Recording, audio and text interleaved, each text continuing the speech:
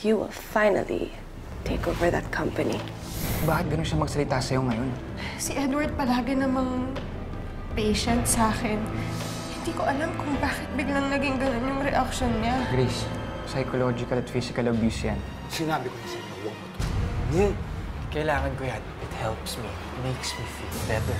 Look at me. I'm in pain. Malasakit kaya ang nararamdaman ni William kay Edward.